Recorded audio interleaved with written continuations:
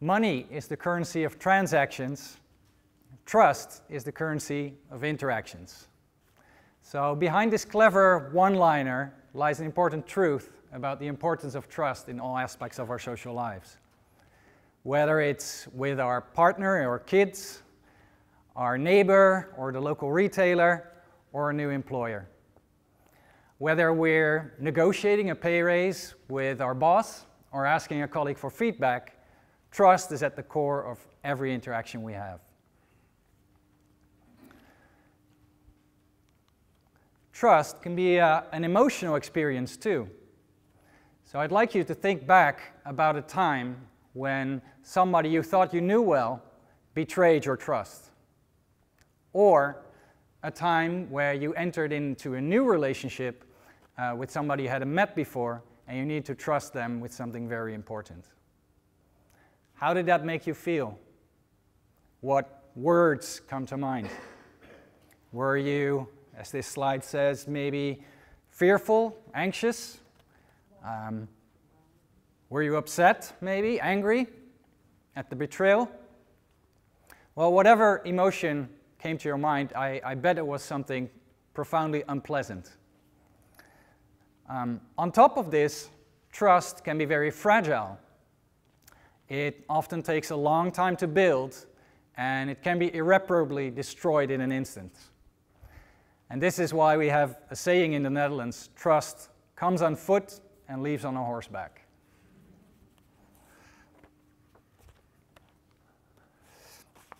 So, trust and the social interactions we have are intrinsically related. On the one hand, uh, the interactions we have with others provide us with rich diagnostic information about their trustworthiness. And this information narrows the uncertainty that we have about how others will behave and act towards us. And this allows us to take this leap of faith towards trusting someone. Um, at the same time, trust enables us to engage in productive interactions and work together as if this uncertainty about others' behavior uh, didn't exist. Furthermore, repeated interactions over time allow for the accumulation of evidence of trustworthiness, which then strengthens our trust and allows us to essentially take trust for granted. This also explains, maybe, why we have such strong emotional responses to trust when it is violated. Because it reminds us that this uncertainty about others' behavior is real and that we were actually wrong to trust that person and to take trust for granted.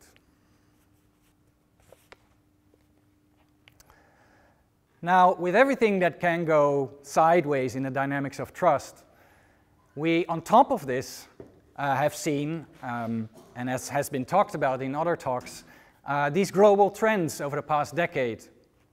And these have complicated the puzzle of trust.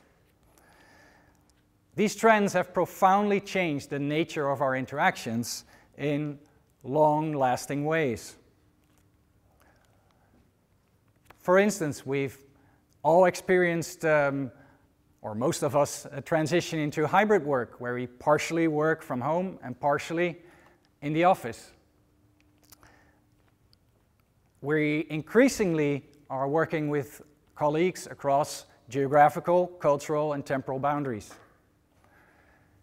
Our work is increasingly project-based, where we temporarily team up with colleagues on a specific task and then disband again once that task is completed.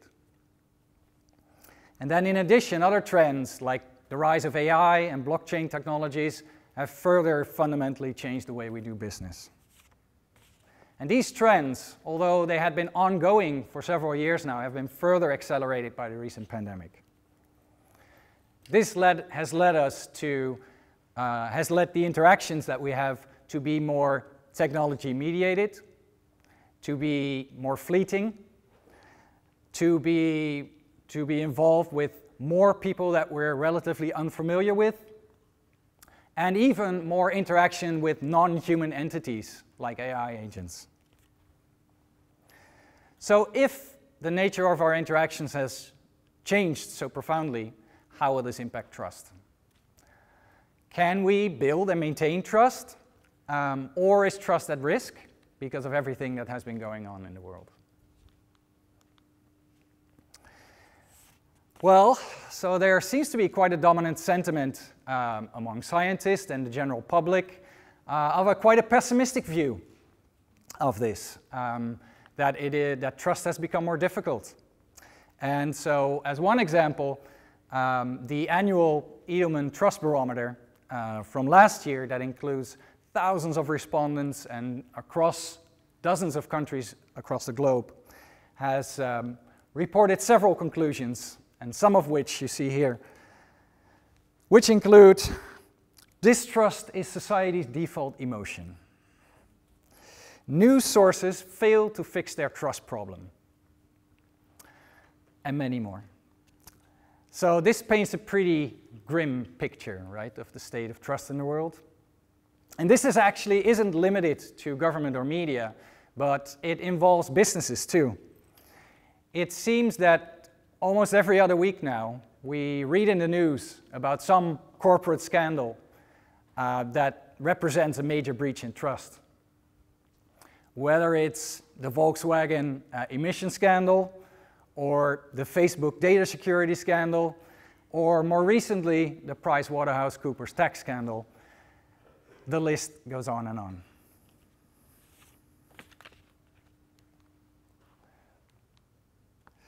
Now, the purpose of my talk is to actually challenge that pessimistic view a bit um, and give you a more optimistic view. And while I may not be in a position to speak to issues of trust in government and media, I am in a position as, a, as an academic and researcher of this topic over the past decades to give you some insights on how we can build and maintain trust within the workplace. Um, and I think we can be optimistic for three reasons. One, uh, that same Edelman um, research report showed that uh, compared to previous years, trust in businesses, co-workers, and CEOs has actually gone up. And this is largely due, um, they speculate, um, because of how businesses have, have responded to the pandemic. Second, these global trends that we talk, we're talking about today also represent unique opportunities for us to interact and connect with uh, our colleagues in ways that was previously not possible. For instance, while working from home and being on a Zoom meeting, uh, this gives us an opportunity to reveal more about our personal and family life, just like this dog picture here. And this allows us to get to know each other uh, on a more personal level. And this helps to boost what we uh, typically refer to as disclosure-based trust. In addition, as a supervisor, by allowing your followers to work from home and trusting them to do a good job, um, this can be a very effective way to boost what we call reliance-based trust. So we know from research that one of the most important determinants of whether you trust someone is whether they behave in a trustworthy manner. And in the scientific literature, we typically make a dis threefold distinction between aspects of uh, trustworthiness called ability, benevolence, and integrity. Now, with today's technologies, um, these technologies actually facilitate demonstrating each of these aspects of trustworthiness uh, in ways that, that we previously couldn't. For instance, with these platforms like LinkedIn, uh, it has never been easier to comprehensively communicate your skills and abilities and competences uh, both internally to the organization and externally. So this is a way to demonstrate ability. Second, with technologies like WhatsApp or Slack, um, it is very easy to just flick a colleague a message to check in on them and ask them how they're going. And uh, this is, you know, obviously a clear demonstration that you care about them and about their well-being. So that's a demonstration of benevolence. And finally, through the codification of our interactions, via uh, emails, uh, meeting minutes, and Zoom recordings, we can build a digital track record of our ability to deliver on our promises at work. And this helps to boost perceptions of integrity.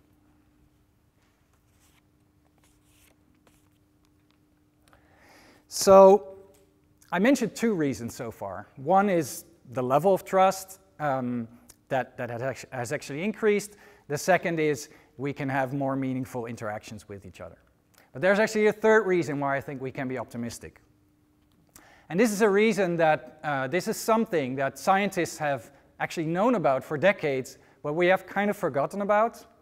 Uh, but because everything that has been happening in the world, uh, we're rediscovering it. And this is this notion that next to interaction-based approaches to building and maintaining trust, we can also rely on heuristic-based approaches, which don't require um, a long, rich history of interactions. So heuristics are essentially mental shortcuts that we use, we tend to rely on, to, um, to deal with complex decisions, such as whether we can trust others, um, and to allow us to arrive at fairly accurate conclusions uh, while avoiding cognitive overload. And we do this for trust as well. We rely on professional credentials and role expectations to reassure us of other people's competence and of the range of behaviors we can expect of them. We rely on demographic and personal similarities that we share with others to make predictions about how they will behave in ways that are similar to us and therefore more predictable. We rely on third parties' trust in others um, as a proxy for forming our own perceptions of trust. And fourthly, we rely on our general propensity to trust strangers when we're entering a new relationship and gouging somebody's trustworthiness. So, I think these heuristic-based approaches are, um, are, are, good news, uh, and, and they are uh, good news in, in four ways.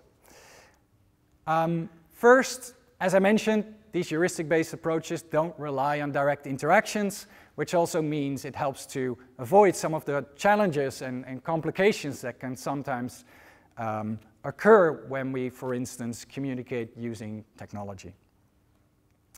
Second, because heuristics are shortcuts, uh, it allows us to develop trust really quickly, um, something we, we tend to refer to as swift trust.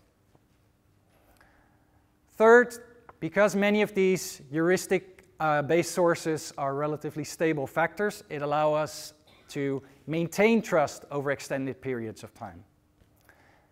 And fourth, many of these heuristics, uh, these factors, are actually under our direct control uh, both as managers and as employees, meaning they are actionable. We can take concrete steps towards helping to maintain and nourish trust in the workplace.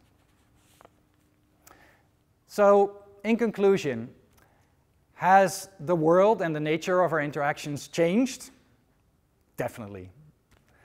Um, should we uh, despair about the inevitable demise of trust um, among colleagues and in our workplace? I don't think so. Um, instead, I think we, can, we need to actively seek out new and creative ways to have meaningful interactions with each other at work.